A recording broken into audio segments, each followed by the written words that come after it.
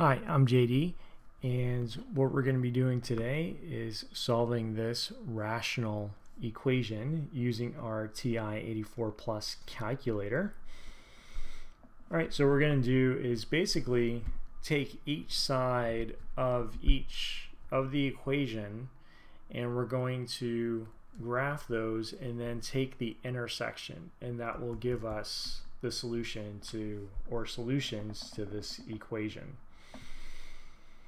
Now we can also use the table feature as well. I'll show you that. So let's start by typing these in. So I have to use um, parentheses to separate the numerator and denominator. So y1 equals parentheses x, and I'm pushing the variable button, squared minus 20 close parentheses divided by, open parentheses, variable in x squared minus 7x plus 12, close parentheses. So that's our first curve. And then we're going to type this in.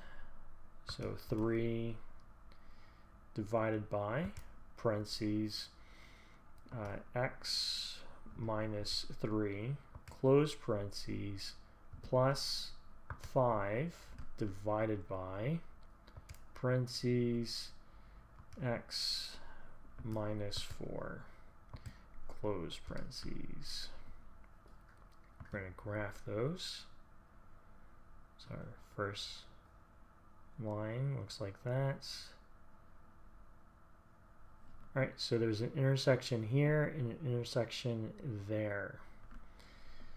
So use second calc and we're going to select intersect. Uh, we're already kind of towards this one, so first curve, enter, second curve, enter, and then I guess somewhere over there. Alright, so x equals 1. That's what we're after. We're after the x's. All right, let's get to that one. So second calc, intersect. Get close to that first. So I'm to click over. There we are, right there. There's my little spider. Get close to that part where they're looks like they're intersecting. So first curve, enter, second curve, enter. Uh, I think I'm close. X equals 7. I can also do this on the table feature. So second table. Notice I have these in here already. And if I go to one, see how they're the same? That's what we're after. We're after them being equal both sides. So they're equal there, x equals 1. See if they're getting close to each other, and they are. See how they get kind of, this one's going down, this one's going down it goes a little up and then down. But you see at 7 they're equal to one another.